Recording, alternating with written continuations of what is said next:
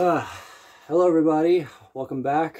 Uh, yeah, it's been a couple days since I last uploaded something. For those who you know about TikTok getting banned, yeah, it is a very serious deal. They've been trying to get it banned for like the last couple years now, but now they're finally getting it banned. I knew it was gonna happen. But as for that, um, I gotta take down my TikTok link off of this YouTube channel and I gotta take off all, I've pretty much already taken down all my videos off TikTok. So so if TikTok gets banned, then then that means nobody will be seeing my videos. Obviously, most of them are obviously on my YouTube Shorts. I mean, what's the point of having a YouTube Shorts and having TikTok at the same time? Like, what's the difference? They're kind of like the same thing. It's just it just gets you lots of views. But I kind of agree that TikTok should get banned. I mean, I okay, there's there's two reasons why. One, I don't really go on there often.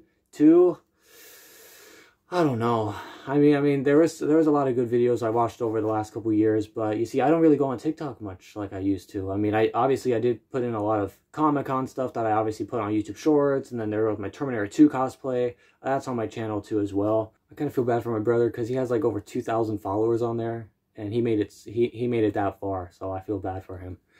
But for me, to be honest, I don't even have that many followers or that many views. I, I was I pretty much made it to about a thousand likes on my TikTok channel. So obviously my TikTok videos are obviously on this channel. They're just in the YouTube Shorts, obviously. There's a couple TikToks that I don't have on YouTube Shorts, but I will have them uploaded right when this video ends.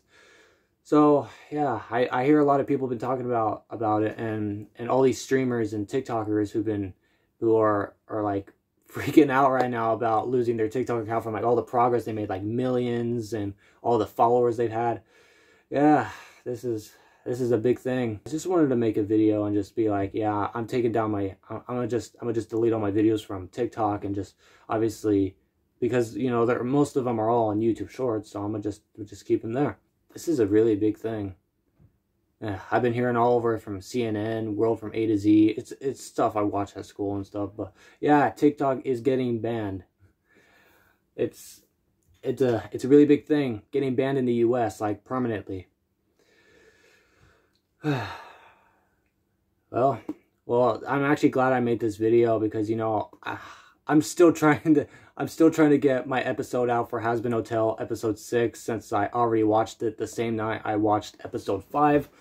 So for that case, uh, yeah, this is this is today's video, guys. I hope you guys enjoyed. If you did, like and subscribe.